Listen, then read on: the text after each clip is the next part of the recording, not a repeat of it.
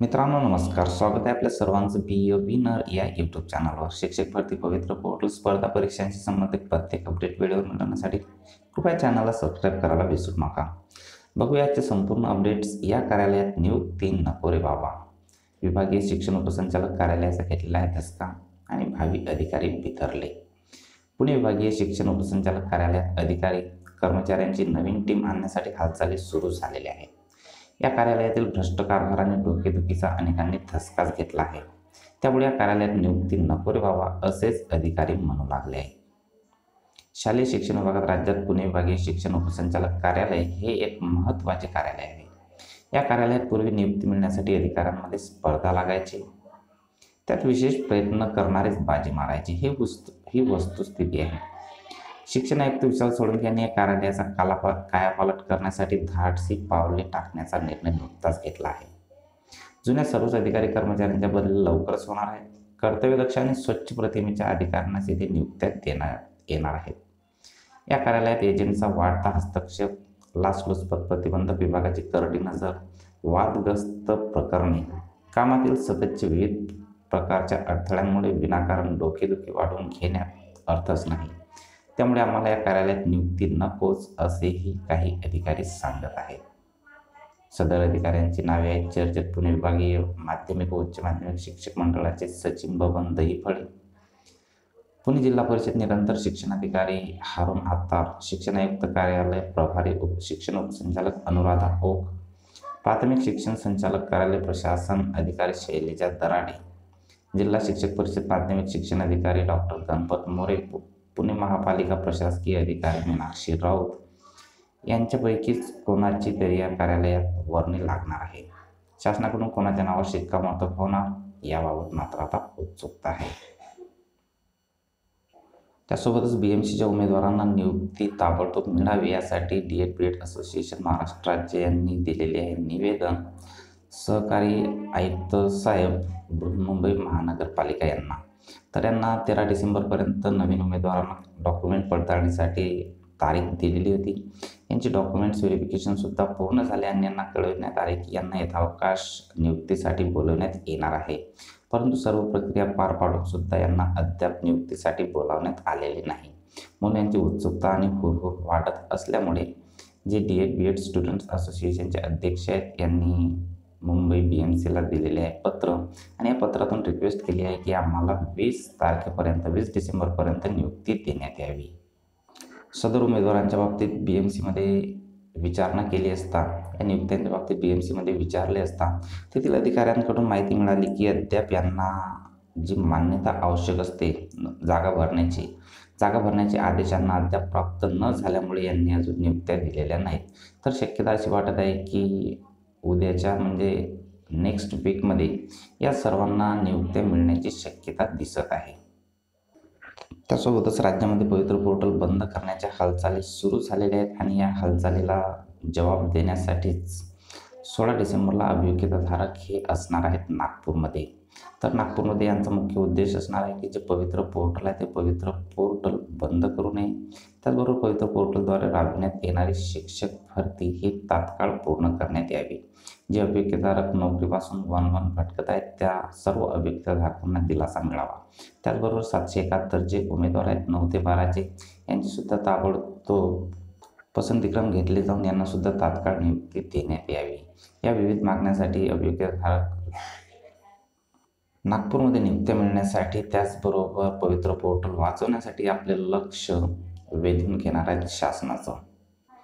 त्यासोबतच जात प्रमाणपत्रावी नोकरी धोक्यात आलेल्या सव्वा पाच हजार अधिकारी कर्मचाऱ्यांना मिळणार आहे दिलासा. अनुसूचित जमातीचे जात वैधता प्रमाणपत्र सादर न केल्याच्या कारणास्तव सेवा समाप्त होणाऱ्या व यापूर्वी सेवा समाप्त करण्यात आलेल्या सुमारे पाच हजार दोनशे अठ्ठ्याण्णव अधिकारी व कर्मचाऱ्यांच्या संख्येची अधिकची पदे निर्माण करून त्यांना मानवतावादी दृष्टिकोनातून तात्पुरत्या स्वरूपात अकरा महिन्यांकरता नेमणूक देण्याचा निर्णय शनिवारी मंत्रिमंडळाने घेतला. सर्व प्रशासकीय विभाग व त्यांच्या आधिपत्याखालील शासकीय आणि निमशासकीय कार्यालयातील अनुसूचित जमातीच्या कर्मचारी व अधिकाऱ्यांची संवर्गाने संख्या निश्चित करावी व त्यानंतर त्यांच्या सेवा अधिसंख्या पदावर वर्ग करून त्यांची पदे ही एकतीस डिसेंबर दोन हजार एकोणीसपर्यंत रिक्त करण्याच्या सूचना देखील करण्यात आल्या. रिक्त होणारी अनुसूचित जमातीच्या प्रवर्गातील पदे अनुसूचित जमातीचे जात वैधता प्रमाणपत्र असलेल्या उमेदवारांमधून सेवा प्रवेश नियमानुसार विविध कार्यपद्धतीचा अवलंब करून भरण्यासाठी कालबद्ध कार्यक्रम आखावा आणि ही पदे भरण्याची कार्यवाही करावी असा निर्णय मंत्रिमंडळाने घेतला. सात वैधता प्रमाणपत्र सादर न करणाऱ्या अधिकारी व कर्मचाऱ्यांना तात्पुरत्या स्वरूपात अकरा महिन्यांकरता नेमणूक दिल्यानंतरच त्यांच्या सेवाविषयक आणि सेवानिवृत्तीविषयक लाभांबाबत सविस्तर अभ्यास करून शिफारशी करण्यासाठी स्वतंत्र मंत्री गटाची स्थापना ही करण्यात येणार आहे. त्यासोबतच एक महत्त्वाचं अपडेट आहे. प्राध्यापक भरतीच्या संदर्भात प्राध्यापक भरती केंद्रीय पद्धतीने व्हावी. राज्यातील अनुदानित महाविद्यालयांमध्ये करण्यात येणारी प्राध्यापक भरती केंद्रीय पद्धतीने करण्यात यावी. चाळीस टक्क्यांऐवजी शंभर टक्के जागा भरण्यास मान्यता द्यावी.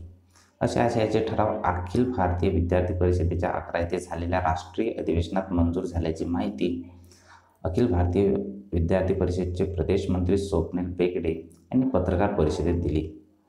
अखिल भारतीय विद्यार्थी परिषदेच्या राष्ट्रीय अधिवेशनात महाराष्ट्रातील शैक्षणिक समस्यांविषयी विविध ठराव मंजूर करण्यात आले. याविषयी माहिती देण्यासाठी प्रदेश मंत्री स्वप्नील बेगडे महानगरमंत्री तुषार साळुंके यांनी पत्रकार परिषद घेतली. बेगडे म्हणाले या अधिवेशनात अखिल भारतीय विद्यार्थी परिषदेच्या इतिहासात पहिला राष्ट्रीय महामंत्री म्हणून नीती त्रिपाठी या जे एन यू विद्यापीठातील विद्यार्थिनीची निवड करण्यात आली. या अधिवेशनात सागर रेड्डी यांना यशवंतराव केळकर युवा पुरस्काराने सन्मानित करण्यात आल्याचे त्यांनी सांगितले. याशिवाय तीनशे सत्तर कलम रद्द करणे इतर मागण्यासुद्धा त्याच्यामध्ये करण्यात आलेल्या आहेत त्यासोबतच एक वास्तवता आणि वस्तुस्थिती स्पष्ट करणारे पत्र मुख्यमंत्री साहेबांना लिहिलेले एका अभियोग्यधारकाने एक भावनिक पत्र आहे परंतु महत्त्वाचे पत्र आहे.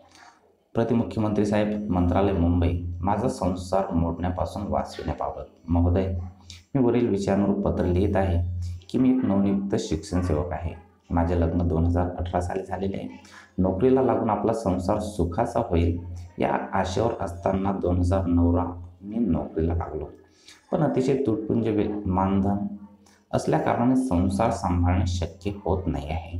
रोज बायकोच्या नवनवीन तक्रारी असतात व त्यातच एवढी महागाईच्या काळात सहा हजार रुपयात कोण घर चालू शकतो? त्यातच घर सोडून दोनशे किलोमीटर अंतरावर दुसऱ्या शहरात राहत आहे. रूम भाडे जेवणाचा खर्च कपड्याचा खर्च पेट्रोलचा खर्च हॉस्पिटलचा खर्च कसा करायचा हा मोठा प्रश्न उपस्थित झाला आहे. बायको अशा परिस्थितीत संसार करायला तयार नाही. बायको काडीमोड करण्याच्या तयारीत आहे. साहेब आता तुम्हीच माझा घटस्फोट होण्यापासून आम्हाला वाचू शकता. कृपया शिक्षण सेवा कालावधी रद्द करून मला व माझ्यासारख्या तमाम नवनियुक्त शिक्षकांना न्याय द्यावा ही आग्रहाची विनंती. नितेश गवंदे सर आहेत आणि नवनियुक्त शिक्षण सेवक आहेत. अतिशय महत्त्वाचं पत्र आहे. त्याचबरोबर वेतन वाढावे यासाठी थोड्याफार हालचालीसुद्धा दिसून येत आहेत. घेऊयात जाणून शिक्षण सेवकांचे मानधन वाढणार. पुणे येथे शिक्षण आयुक्त कार्यालयात गुरुवारी महाराष्ट्र राज्य प्राथमिक शिक्षण समितीच्या प्रतिनिधींसह शिक्षण आयुक्तांनी चर्चा केली. शिक्षक समितीच्या प्रतिनिधींचे नेतृत्व राज्याध्यक्ष उदय शिंदे यांनी केले. प्राथमिक विभागाचे शिक्षण उपसंचालक दिनकर टेमकर यांच्यासह शिक्षण संचालन संचालनालयातील वरिष्ठ अधिकारी या बैठकीला उपस्थित होते. महाराष्ट्र राज्य प्राथमिक शिक्षक समितीच्या निवेदनातील शिक्षण सेवकांना सात हजार मासिक मानधनाऐवजी किमान एकवीस हजार मानधन मिळावे या मागणीबाबत शासनाकडे प्रस्ताव अल्पावधीत सादर करून अधिकाधिक मानधन वाढ देण्याचा प्रयत्न होईल असे शिक्षण आयुक्त विशाल सोळंकी यांनी सांगितले. स्थानिक स्वराज्य संस्थांच्या शाळांना डिजिटल करण्यासाठी शासनाने मुख्यमंत्री ई स्कूल या योजनेच्या माध्यमातून शाळा डिजिटल करण्यासह उपकरणांच्या देखभालीसाठी अनुदान दिले जाईल असे सुद्धा आयुक्तांनी यावेळेस स्पष्ट केले.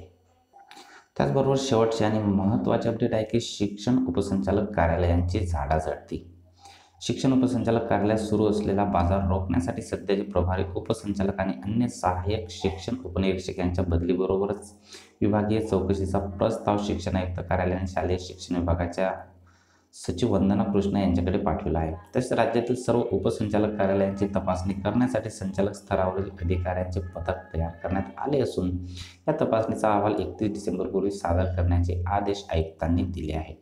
उपसंचालक कार्यालयात लाचलुचपत प्रतिबंध विभागाने धाड टाकली. यात पैसे स्वीकारताना एका शिपायाला अटक केली. त्यानंतर या विभागात चालणाऱ्या गैरप्रकाराला सकाळने फोडली वाचा. या गैरप्रकारांच्या पद्धती समोर आल्या.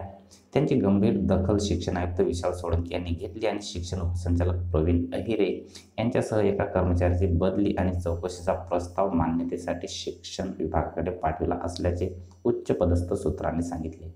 आता सर्व कार्यालयांमध्ये तीन वर्षापासून एकाच ठिकाणी काम करणाऱ्या कर्मचाऱ्यांची बदली करण्याचे प्रस्तावित करण्यात आले आहे. दरम्यान प्रत्येक जिल्ह्यातील उपसंचालक कार्यालय हे तीन जिल्ह्यातील शिक्षक संस्था यांच्याशी संबंधित कामे करीत असते. परंतु कोणतेही काम विहित वेळेत केले जात नाही. त्यासाठी मोठ्या रकमांची मागणी केली जाते. असे सरकारी यंत्रणेच्या निदर्शनास आले आहे. त्यासाठी राज्यातील सर्व उपसंचालक कार्यालयांची तपासणी करण्याचा आदेश आयुक्त सोळंकी यांनी दिला आहे. पुणे आणि मुंबई विभागातील कार्यालय तपासणीसाठी शिक्षण संचालक दिनकर पाटील सोलापूर लातूरसाठी दिनकर टेमकर नागपूर अमरावतीसाठी दत्तात्रय जगताप सोलापूर नाशिकसाठी व्ही के खाटके यांना तपासणी करण्याचे आदेश आयुक्तांनी दिलेले आहेत. उपसंचालक कार्यालयातील गैरप्रकाराची गंभीर दखल घेण्यात आली आहे. अशा गैरप्रकारांमुळे शिक्षण खाते बदनाम होत असल्याने संबंधितांवर शक्य तितकी कठोर कारवाई करण्यात येणार आहे. मित्रांनो व्हिडिओ मोठा आहे परंतु महत्त्वाचे सर्व अपडेट्स याच्यामध्ये कव्हर करण्याचा प्रयत्न केलेला आहे. छोटे छोटे दोन तीन व्हिडिओ न बनवता एकच व्हिडिओ बनवण्याचा प्रयत्न केलेला आहे. आवडल्यास लाईक करा शेअर करा आणि चॅनलला सबस्क्राईब करा. धन्यवाद मित्रांनो.